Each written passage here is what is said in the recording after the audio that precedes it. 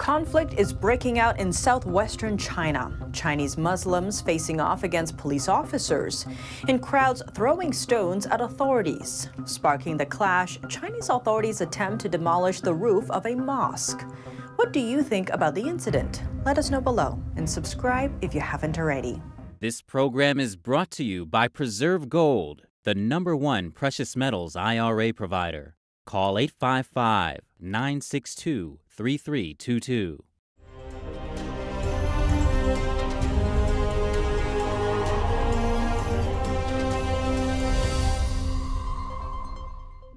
Welcome to China in Focus. I'm Tiffany Meyer. Unrest in a majority Muslim town in southwestern China. On Saturday, clashes broke out between residents and police in Yunnan province, following the forced demolition of a domed roof on a centuries old mosque. Footage shows officers coated in body armor lined up outside the gate, barring the angry crowd from entering. Dozens of police vehicles stood by on the scene, prepared for potential arrests. The protest is believed to be related to a court decision in 2020, which outlawed some of the mosque's renovations. Following the incident, local police urged anyone involved in the conflict to surrender themselves before June 6 for a lighter penalty. In recent years, the Chinese Communist Party has further strengthened its control over religious groups like Muslims and Christians.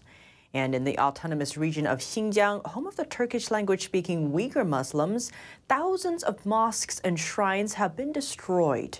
Millions of Uyghur Muslims are forced into mass detention and re education camps as part of the CCP's campaign to assimilate all non Han Chinese people. Two agents of the Chinese Communist Party, or CCP, are facing charges for a bribery scheme on U.S. soil. The Justice Department said the two tried to carry out China's aim of, quote, toppling the Falun Gong. Falun Gong is a spiritual practice based on the principles of truthfulness, compassion, and forbearance. The practice is banned in China and has faced a brutal persecution campaign driven by the CCP since 1999. The DOJ say John Chen and Lin Feng tried to bribe an undercover officer who they thought was an IRS agent, paying the officer 5000 in cash with a promise of more. That's if the official advanced a complaint with Internal Revenue Service to revoke federal tax exemptions for a Falun Gong entity. Stripping the entity's exempt status would increase its federal obligation.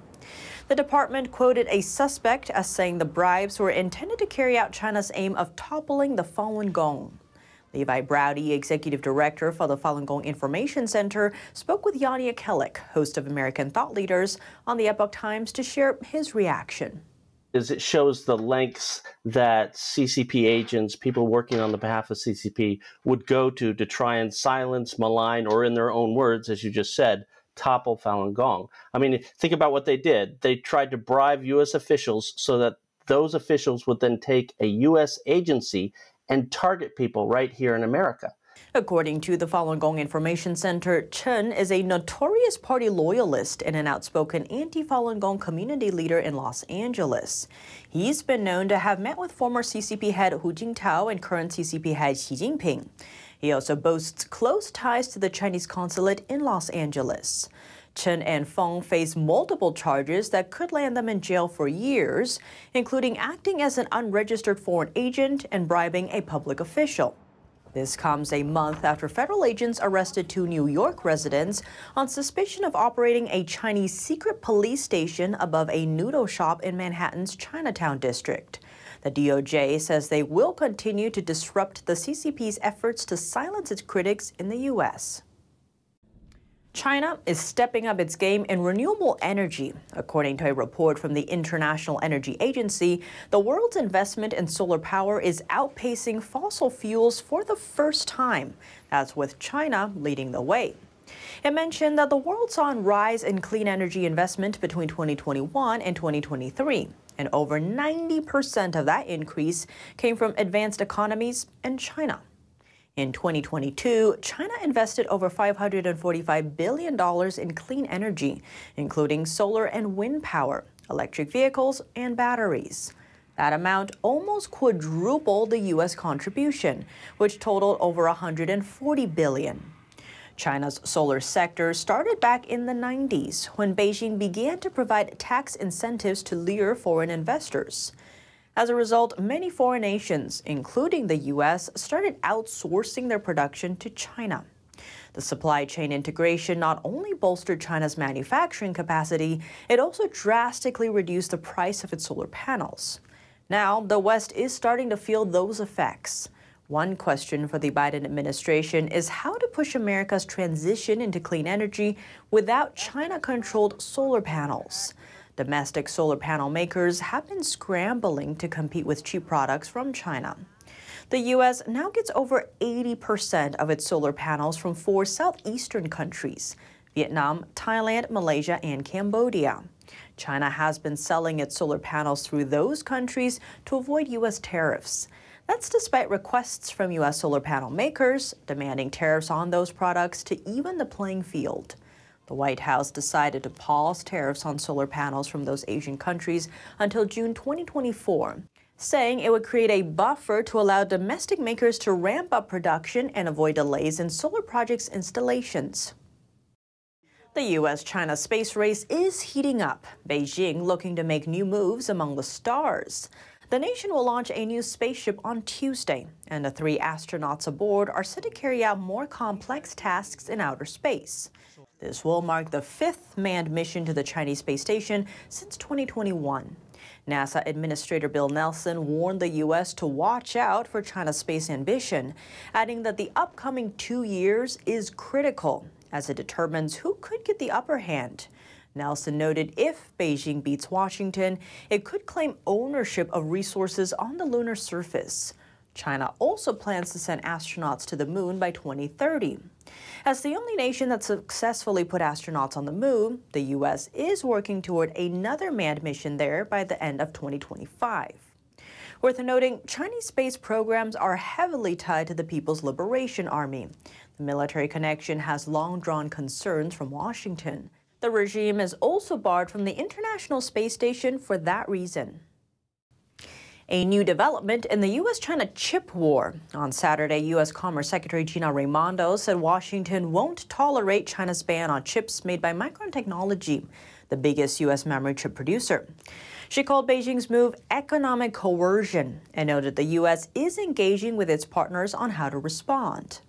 The latest round of tech related tensions began last Sunday. That's when China's cyberspace regulator warned the country's key infrastructure operators against buying Micron's chips, saying they pose a relatively serious risk. This follows a U.S. ban on exporting high end chips and equipment to China in October. As Micron loses market share in China, South Korea, a major trade partner to China and a security partner to the U.S., is caught in the middle. Both Washington and Beijing have been lobbying their counterparts in Seoul. A new deal to shore up supply chains. The U.S. Commerce Department said Saturday that 14 nations have come to an agreement after a year of negotiating.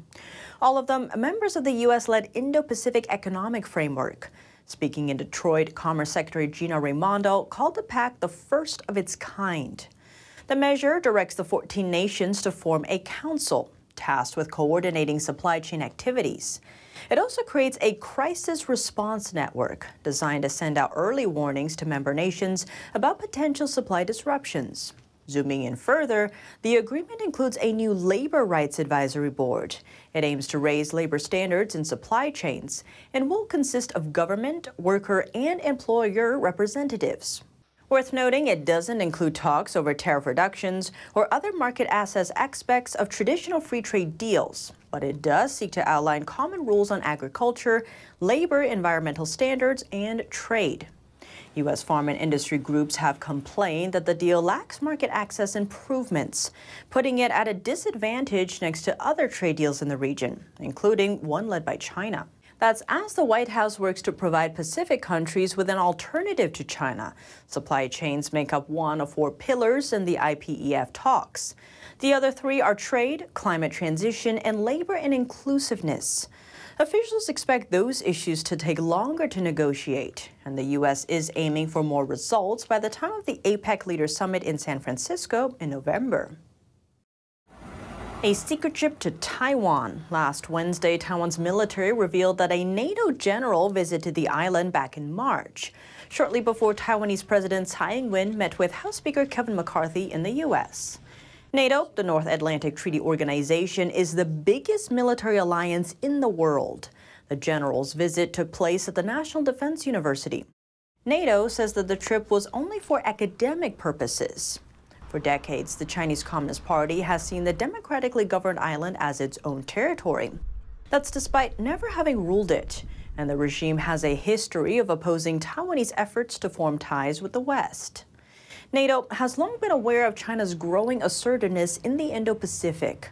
Just recently, the organization planned to open a liaison office in Japan that would mark its first in Asia.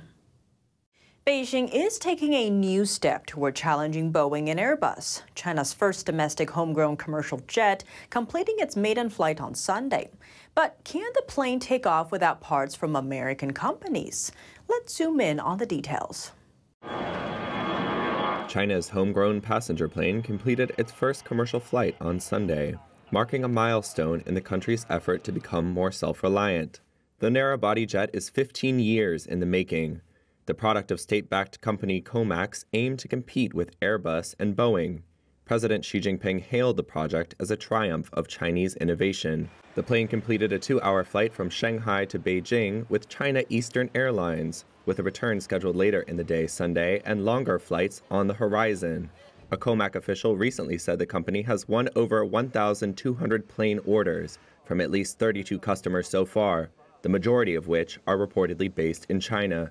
Chinese media reported the plane maker expects annual production to reach 150 jets within five years. Although assembled in China, the plane relies heavily on components such as engines and avionics from Western firms. Neither European nor U.S. regulators have certified the aircraft yet. Until they do, key international markets will remain closed to the C919. China's C919 jet is designed to rival aircraft made by Boeing and Airbus, though both companies offer models that currently outperform China's new aircraft. But how many parts of the plane are actually made in China? The landing gear, APU, and electricity system come from U.S. based Honeywell. The engine comes from a joint venture between GE Aviation and a French aerospace firm. The communication and navigation systems come from U.S. based Rockwell Collins. The Chinese side was mostly responsible for the radar cover and wings. Tensions in the Korean peninsula are spiking, Japan readying its ballistic missile defense, vowing to shoot down any projectile that would threaten its territory. That's after North Korea informed the country of an upcoming satellite launch. China calling for dialogue between the two sides. Here are the details. Japan put its ballistic missile defences on alert on Monday and warned it would shoot down any projectile that threatened its territory, after North Korea notified it of a satellite launch between Wednesday, May 31st and June 11th. North Korea says it has completed its first military spy satellite, and leader Kim Jong un has approved final preparations for the launch. Analysts say the satellite is part of a surveillance technology program, which includes drones and is aimed at helping nuclear armed North Korea to strike targets in the event of war. Japan's defense ministry said in a statement it would use its Standard Missile 3 or Patriot Missile PAC-3 to destroy a North Korean missile. Japanese Prime Minister Fumio Kishida told reporters such a launch would be a serious violation of UN Security Council resolutions condemning North Korea's nuclear and missile activity. South Korea also called on the North to scrap the planned launch. And China's foreign ministry called for dialogue to ease the escalating tensions.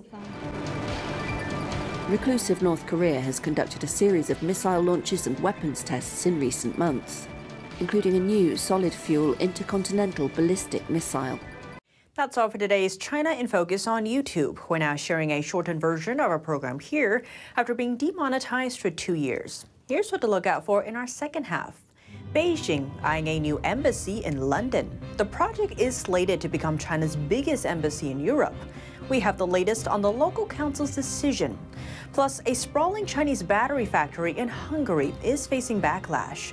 Why does the Hungarian government want it? And why are local residents concerned? The full episode is available on our partner platform, Epoch TV. To sign up, click the link down below. Thanks for watching China in Focus. I'm Tiffany Meyer. See you tomorrow.